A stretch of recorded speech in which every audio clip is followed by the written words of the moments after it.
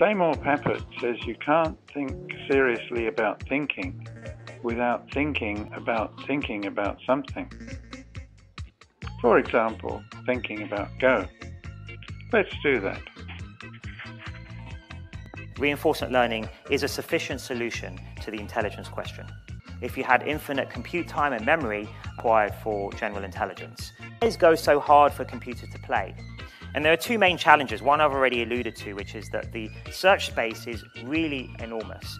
So just to give you another example of that is in Go, on average, there are around 200 possible moves. In chess, in an average position, there are around 20 moves. So Go has an order of magnitude bigger branching factor than chess has.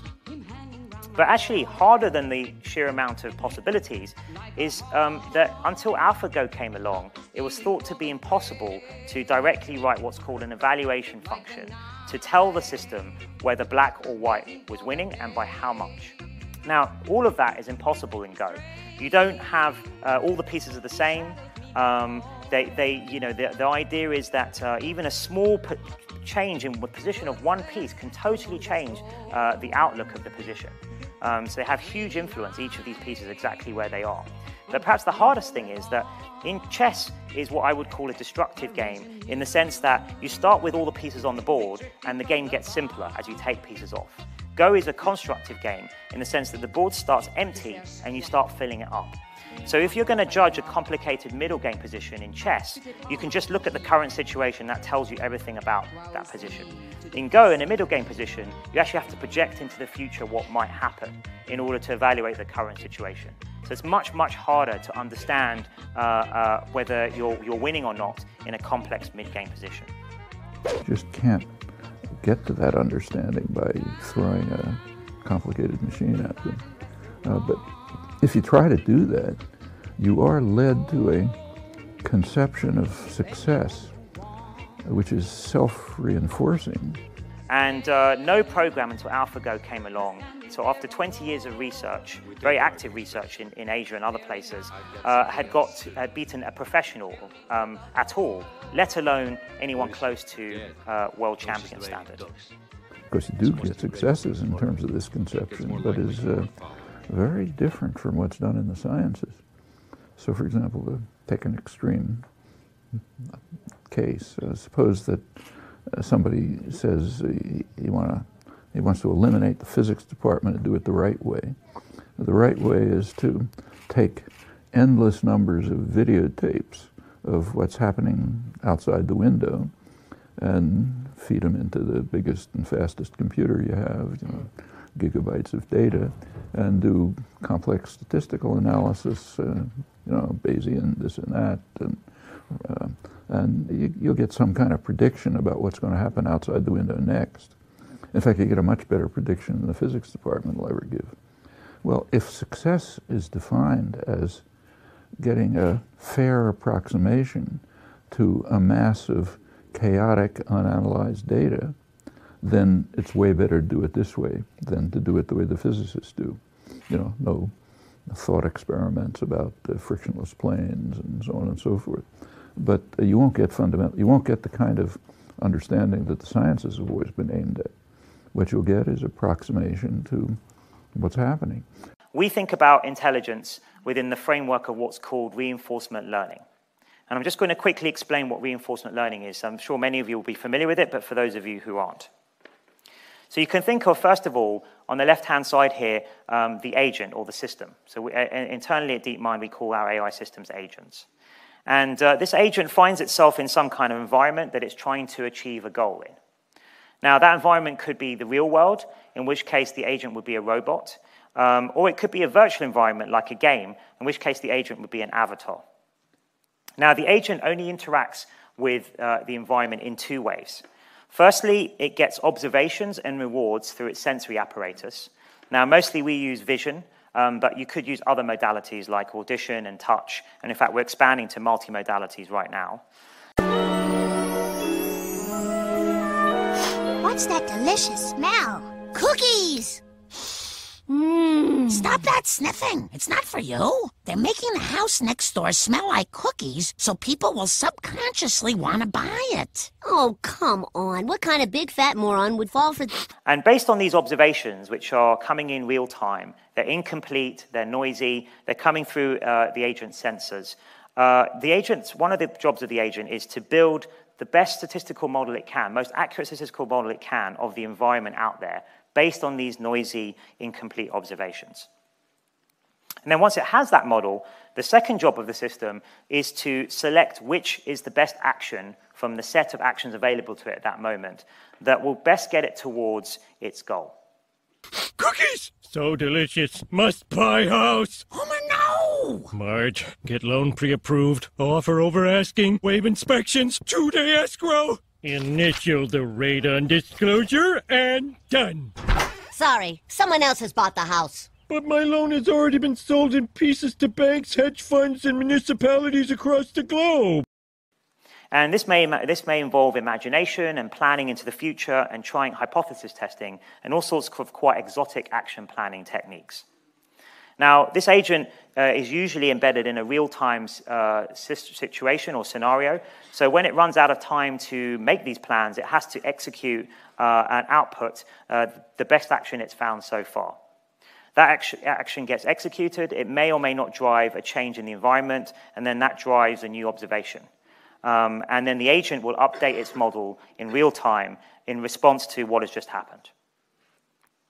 So in essence, this is the whole uh, architecture of reinforcement learning. And uh, you know, although this diagram is very simple, um, actually hides huge technical complexities and research challenges behind this. But we know that if we could solve all those challenges behind this diagram, that would be enough for general intelligence. A very different approach is the, which I think is the right approach, is uh, to look for, the, to try to see if you can understand what the fundamental principles are that deal with the core properties and recognize that there's going to be lots of, in the actual usage, there's going to be a thousand other variables intervening, kind of like, you know, what's happening outside the window. Uh, and you'll sort of tack those on later on if you want better approximations. That's a different approach. And it's the, and these are just two different concepts of science. The second one is the one that has been what science has been since, say, Galileo. That's modern science. Uh, the uh, uh, the approximating unanalyzed data kind is sort of a new approach. Uh, not totally, you know. There's things like that in the past, but it's basically a, an, a new approach which is have been accelerated by the existence of massive memories, very rapid processing, uh, which enables you to do things like this you couldn't have done by hand. You know, but I think uh, myself that it is leading. It tends to lead the subject, like computational cognitive science, into a direction of uh, maybe some practical applicability, but away from understanding. It actually created what seemed to be new ideas. And I just want to take you through one of those ideas to try and convince you, if I can, um, that, that, that, that, these were truly sort of original thoughts, uh, uh, uh ideas that AlphaGo was coming up with. So here's a position from game two uh, and move 37, which is my favorite move from the whole uh, series of matches. And I think will go down in Go history. And uh, in this position, uh, AlphaGo is playing black, and Lee Sedol is playing white. And AlphaGo played this move on the right-hand side here, middle of the right-hand side of the board, uh, that I've indicated here with the white triangle. That was move 37. Now, that move's called a shoulder hit because you're diagonally next to an opponent's stone. Now, um, to explain why that is such an astounding move for all the professionals in the room, all the commentators, that we had rooms filled of Korean commentators and, and English language commentators, and they were all shocked by this. And the reason is, is because there are two important lines in Go. So it's a 19 by 19 board, but there are two critical lines uh, in tradition. The third line here, that I've marked with the line here. Now, if you play on the third line, what you're saying to your opponent is, I'm going to take territory to the side of the board. I'm going to wall off territory to the side of the board, and I'm going to bank those points. Instead of that, so here's the side of the board. That's what you're doing when you play on the third line. If you play on the fourth line instead, what you're saying to your opponent is, I'm actually going to take power and influence into the center of the board. And the idea behind playing on the fourth line is that later on, that power and influence will get you territory somewhere else on the board that will be equal to the territory you gave up locally on the third line. Right? So for 3,000 years, the received wisdom has been that playing on the third line and your opponent playing on the fourth line is an equal trade, or vice versa. Right? So basically, generally speaking, if you do that, you have got an equal trade and things should proceed as normal. But what you'll notice is, is that AlphaGo played on the fifth line. Right? So it played on the fifth line, one line higher up, to take power and influence into the center of the board. And the fifth line is obviously giving away, you know, uh, you're sort of selling your opponent. You can take territory from the fourth line. So you're giving away a whole extra line of territory towards the side of the board, which is huge in Go, right? So what, it is, what we think this means is that um, for 3,000 years, humans may have been underestimating the value of power and influence to the center of the board, despite 3,000 years of sort of professional, you know, contemplation and play, which is kind of incredible if you think about that. So, um, and obviously, the interesting thing is, so Go is like art, right? That's how it's considered. In fact, if you, if you talk to top Go players, they'll tell you it embodies all the complexities of the universe. That's how they, they, they think of it. But it's interesting because it's objective art. So, you know, or any one of us in this room could come up with a, a, a, an original move by playing something random right? But it wouldn't mean it was any good, right? It might be original, but it wouldn't mean it was any good. So the key thing about this move is, is that it turned out to be pivotal, pivotal to winning the game. And what happened was, is that these two stones here in the bottom left of uh, hand side that are surrounded by the white stones and seem to be in trouble, that I've, I've indicated with the white triangles there. 50 moves later, around 50 moves later, the fighting from the bottom left-hand corner spilled out into the center of the board and went all the way to the right-hand side of the board. And that move 37 stone happened to be in the perfect place to decide that running fight, right? So it's as if somehow AlphaGo had been prescient about what was going to happen and then sort of positioned this, this piece in exactly the right place to, to decide, that, decide you know, that decisive battle over on the left-hand side. So I've told you that this is a, you know, a wonderfully creative move, and the professionals were astounded. So, um, so that was pretty revolutionary, and there were lots of examples of that during the game. Um, and then I must mention Lee Sedol's incredible genius too. So and, uh, and he did this incredible move himself, move 78 in game four, which I haven't got time, I'm not going to go through. But um, this incredible move in the center of the board, this wedge move, which will, I think will also go down in Go history. And what happened is, is that it actually confused AlphaGo into misevaluating the whole position. So it confused that value net, that pink network I showed earlier on, uh, to misevaluate what was going on here. And uh, the interesting thing about this was is that uh, after the match, so actually, some of the Chinese commentators who were watching this, they called it a God move. Uh, so, so, so in the sense of it was divinely inspired. And this just shows you how much sort of, sort of spiritual philosophy there is in Go, in the sense of um, pe people spend their whole careers, the top players, trying to play what's called a divine move in one, once in their lives, which means a move so beautiful and so kind of ununderstandable that it must have been inspired by God. So this is maybe Lee Sedol's move of that. And the thing was is that AlphaGo knew this was a very unusual move because we looked in the log files, obviously, straight after this match to see what happened. And we asked AlphaGo its probability of uh, it, what it thought the probability was of a human, top human player playing that move. And it gave a probability of 0.007%. So it knew this was like a 1 in 10,000 uh, chance move from a, from a top, top player. So, so somehow, and, and, and obviously this is, this is interesting too because it explains why AlphaGo had, had not seen that kind of move before because AlphaGo would not have played that move right? So, so somehow, um, so how would it have ever explored that during self-play, which is quite interesting. And obviously, the only way to overcome that is to have Lee Sedol in your testing room 24/7, which we don't have, right? So uh, none of us are good enough at Go. You know, very few. There's hardly anyone else in the world who would be good enough to be able to live with AlphaGo for that long in order to be able to play this incredibly masterful move themselves. So, um, so, so, you know, it's very interesting that AlphaGo kind of knew this was super unusual, and it kind of threw out its search during those two minutes and sort of had to recalculate everything um, from, the, from scratch during that move. Now, uh, I mentioned about the impact of the match, you know, 280 million viewers, 35,000 press articles. Also, the thing I'm most proud of is that Go boards were sold out online for two months in the West. So, uh, you know, I've heard of whole new clubs at MIT and elsewhere, like sort of, you know, order of magnitude more people joining those clubs, which is great to see.